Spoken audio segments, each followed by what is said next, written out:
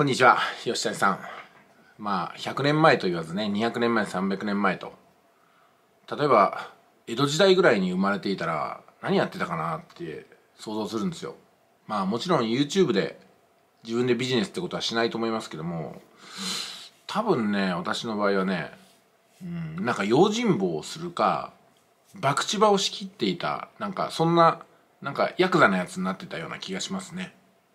えー、まあ10年前は私も麻雀店のねあの従業員でしたしね。そう考えていったら博打場のなんか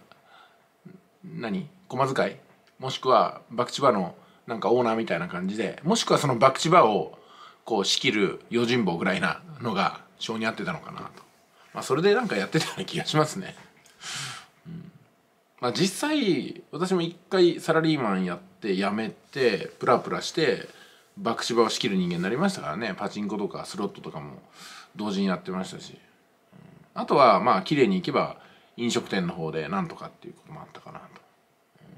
まあいずれにしてもなんかその出勤したりとかどっかね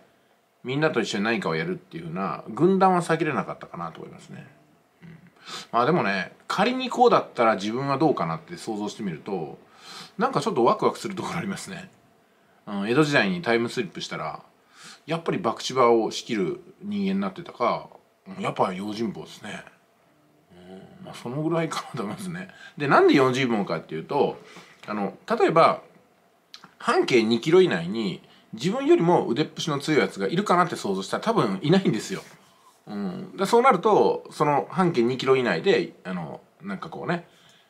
力自慢はできるかなというところですよね。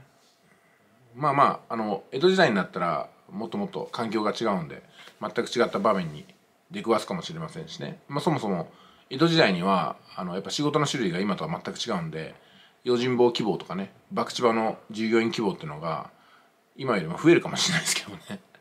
どうどうなんでしょうかね、まあ、少なくとも寺子屋に行って勉強してえなんかね、えー、公務員になるみたいな道は選ばなかったような気がしますね。